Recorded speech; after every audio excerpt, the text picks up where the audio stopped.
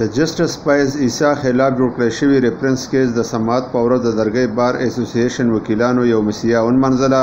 او د هر قسم عدالتي کاروایانه یې بایکاټ وکړو او مطالبه یې کوله چې د بدنیتۍ په بنیاد لېږل شوی ریفرنس دې واپس واخیستل شي او قانون دې د ذات غلام نه جوړوي. د بایکاټ په موقع د درګۍ بار اسوسییشن د وکیلانو یوه غونډه د صدر محمد ریاض ایډوکېټ په مشرۍ کې وشوه چې پکې ټولو وکیلانو ګډون وکړو. غونډې ته د وینا په موقع صدر محمد ریاض ایډوکېټ او د جنرال سیکرټري ضمیر ګل ایډوکېټ په شمول نورو وکیلانو وویل چې د ریفرنس متعلق د دې تحریک سره د وکیل رورولۍ بقا ازادي حقوق او روزګار تړلې شوی دی او موږ بچره هم د دې ریفرنس د واپس اخستو پورې په آرام نه کینو ځکه چې کنن خاموش پاتې شو نو سبا له بل سره هم داسې سلوک کولې شي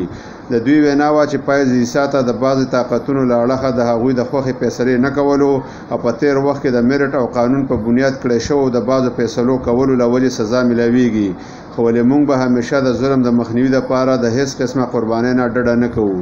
د درګۍ وکیلانو وروسته یو احتجاجي واک هم وکړو او د حکومت د ناجایزه او ظالمانه ګامونو په ضد یې ناره بازي هم وکړه. په دې موقع دوی د ریفرنس واپس اخستلو لپاره د وفاقي وزیر نپیروغ نسیم او اټارني جنرل انور منصور نه د استعفا ورکولو مطالبه هم وکړه.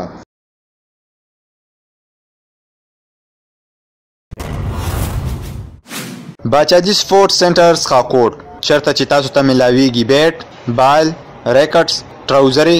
شټونه ټرافیانې او شیلډونه او هغه هم په هول سیل ریټ د څخه کوډ درګې او خوشا لوبغاړو د پاره د سپورټ سامان با اعتماد سنټر باچاجي سپورټس اینډ سکول یونیفارم سنټر صاحبزاده مارکیټ څخه کوډ بازار